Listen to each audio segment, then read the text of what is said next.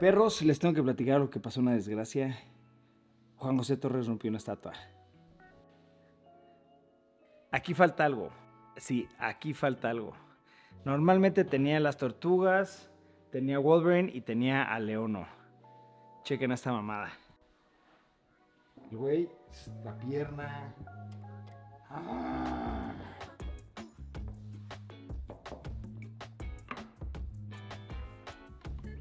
Torres, si estás esto, estás viendo esto, me des una estatua, cabrón. Y yo ya no la encontré. ¿De qué? Degollada. Degollada. Y yo no la encontré, entonces. No, pero lo vamos a tratar de arreglar. Voy a tratar de arreglarla el día de hoy, pero antes de eso quiero hablar de algo muy importante. Normalmente yo siempre he estado utilizando cámaras como estas para bloguear y las tomas ya no las pienso tanto, simplemente es me muevo de lugar en lugar y voy poniendo la cámara donde considero que sea bonito, pongo a grabar y pum, ¿para qué? Para sacar la información rápido y que no me tarde tanto en grabar un video para que Memito pueda editar en su momento y no sea tanta talacha. Pero Memito que está atrás de mí me va a odiar con lo que voy a decir ahorita. Vamos a regresar a, grabar, a bloguear pero con la Comodo. ¿Qué opinas de eso, Memo? ¿Está bien? No me afecta, la verdad. ¿Cómo que no te afecta? Es mucho más pesado y, y- y corrección de color y todo. ¿No? Ya es rápido, la verdad. Ay. Que la neta es una mierda. Ay, sí, sí, este cabrón se siente muchísimo. Pero sí, vamos a regresar a grabar con la Comodo. Y la idea de por qué estoy haciendo eso es porque quiero eh, forzarme a hacer tomas más inteligentes, más lentas, más cinemáticas, hacer B-roll. A ver qué tal nos queda.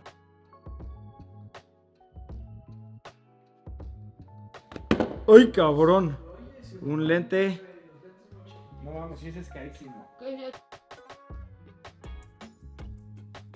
Obviamente quiero hacer un rig primero para la Comodo porque no quiero estar utilizando esta bestialidad. Entre más compacta y más sencilla, mejor. Quiero hacer ahorita pruebas de lentes. Entonces, eh, déjenme hacer un poquito de mundo, o sea, hacer cambios. Y quiero enseñarles con la idea que traigo para hacerlo lo más práctico posible. Porque obviamente también lo quiero utilizar en el coche, eh, pues, en lugares muy prácticos en la casa también.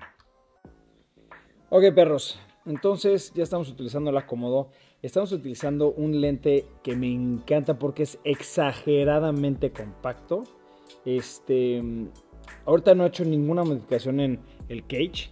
De hecho, se las voy a enseñar. Ahorita lo que estamos utilizando es este micrófono que está enorme y se ve un poquito en la imagen.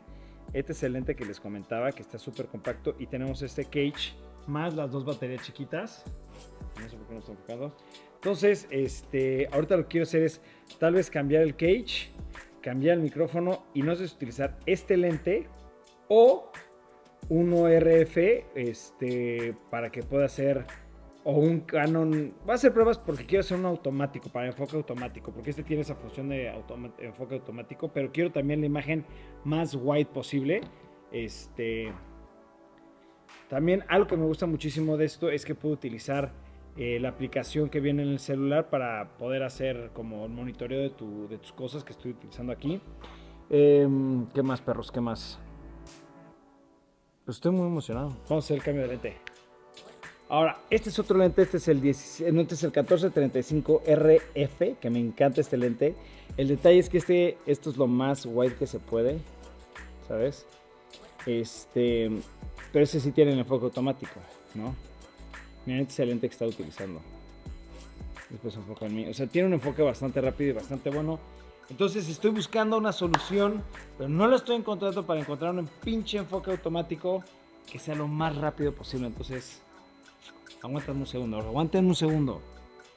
Ok, perros. Entonces, yo creo que ya encontré una solución que me está gustando bastante, que es este lente, porque el de R, ¿dónde están sus tapas?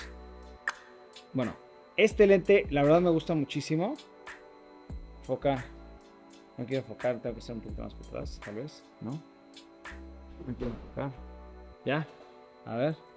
A ver. Este lente me gusta muchísimo, que es el 14, 1435. Es un excelente, excelente lente, pero como esta no es una full frame, este no es lo suficientemente wide para darme lo que estoy queriendo. ¿Sí está enfocando? Sí. Eh, y este lente pues es el 1018 de Canon, es un lente sumamente sencillo, no tiene una característica muy particular como este del Iowa que me fascina. Eh, o este lente que se me hace el Tokina, una joya de lente, es un lente de cinema. El detalle de este lente es que la verdad no quisiera usarlo porque es muy muy pesado. Y quiero hacer eh, este, este rig pues relativamente eh, sencillo, no lo quiero hacer tan complejo porque quiero hacer tomas padres, pero tampoco quiero tardarme una hora nada más en un de este, enfocar, o si me estoy moviendo al momento de hablar, que no se desenfoque. Entonces creo que encontré esta solución que es un adaptador de Canon de RF a y utilizando el lente EFS de 1018 de Canon. Pero entonces ahorita lo que vamos a hacer es, vamos a dejar esto y vamos a hacer así las modificaciones del rig, que ya que lo tenga se los vamos a enseñar perros.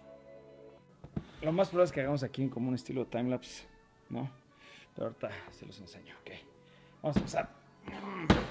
Porque, ok, ok, ok, antes de empezar a abrir todas estas cajas, necesito dos funciones, o más bien tres funciones. Número uno, y la más importante, que tenga un grip. Número dos, que le pueda montar un micrófono. Y número tres, que sea la más ligera posible. Esos son los tres, las tres reglas. Y va- vamos a cambiar de lente. Vamos a ver si funciona. Vamos a cambiar de.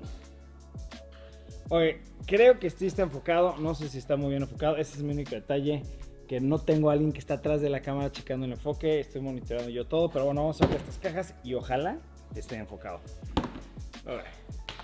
Mira, yo había pensado.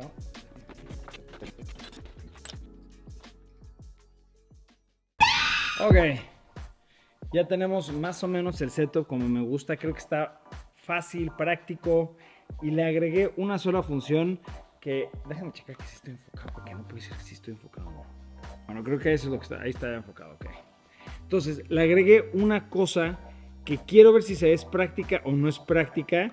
Y es un plate abajo para utilizarla en tripiés o para diferentes montaduras. Ahora, tengo solamente un detalle. El detalle es cómo lo voy a hacer para ponerla en el coche. Que se acuerdan que antes utilizábamos muchísimo eso para coche, pero utilizábamos diferentes cages. Y este era el cage más práctico de todos para eso, pero ya agregó mucho peso a la cámara. Entonces, vamos a seguir, vamos a estar haciendo muchos, muchos ejercicios con esta cámara para ver cuál es eh, el mejor eh, ejemplo, el mejor setup para lo que quiero hacer. Y les voy a enseñar cómo quedó. No, mejor vamos a usar la otra cámara. Y este es el setup, ¿ok? Este es el setup donde tengo obviamente el micrófono arriba. Tengo este brazo de, red. Tengo este accesorio de tilta para poderme poner el micrófono. Y este es el lo que les digo del plate. El plate este me gusta mucho porque lo desmontas así. ¿no? Y está, está bastante práctico. Y esto es el que va en, un tripié o algo así. Entonces, y lo que está padre es que lo puedo utilizar de esta forma, ¿no? Así. Entonces, pues vamos a seguir haciendo pruebas. Les digo, eh, el detalle de este lente, no sé si voy a acabar utilizando este lente por el enfoque. Ahorita les aseguro que no estamos casi nada enfocados. Que bueno, vamos a ver si con esto se enfocó. No sé. Este, o lo hice peor. Pero díganme si les gusta este tipo de contenido porque a mí me apasiona mucho este tipo de cosas.